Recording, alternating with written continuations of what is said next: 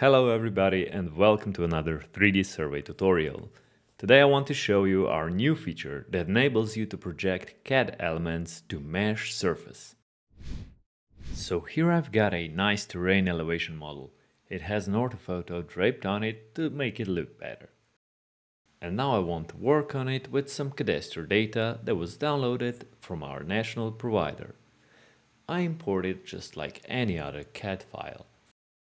But now nothing happens. The list of layers is there, but I can't see any lines. That's because all my CAD elements landed beneath my surface. This happens when you import 2D data into 3D environment. All my lines and points have their elevation fixed on zero. One way to sort this problem is to switch to top-down view and ortho mode. Now I at least see that the data fits horizontally but this view doesn't allow me to inspect my model very well. So I disable the top-down view and the ortho mode. And that's where we get to today's highlight. I go to Mesh tab, right-click the mesh I want all my CAD elements to fit to, and select the Project CAD to Mesh button. A window with list of CAD layers opens up. Here I select the layers I want to project to my mesh. And just like that, with the click of a button, all my CAD elements are projected on the right elevation. Now I can also use the advantage of inspecting the position of points and vertices with the Drawing on Images tool.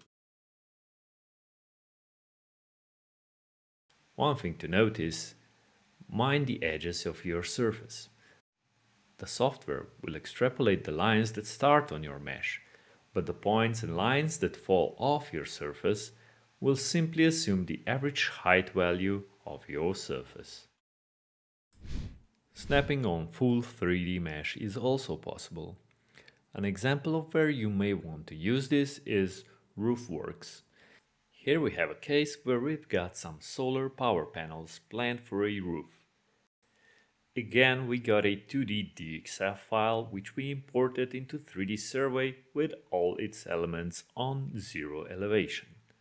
So now we have to project them on the top of our roof. Again, we can check with top-down ortho view if it fits horizontally. Now that we know that it does, we can simply project it to our mesh. Right-click, Project CAD to Mesh, we only need the panel layer here and this time we'll set the project to to highest point.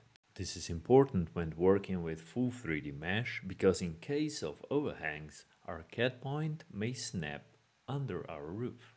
Anyway, we can see our panels got projected to the top of our roof nicely. Beside visualization, this also makes inspection through images possible. Let's see our final case. We're measuring volumes in this gravel pit. For volume calculation alone, such situation is not really problematic. But if we wanted to adjust the selection polygon in 3D space, we need to get it on our mesh first. Now we can precisely adjust this selection polygon.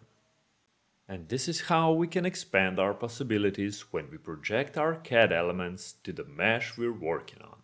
So don't hold back and use this feature. Thank you for watching this tutorial, and until next time, happy 3D surveying!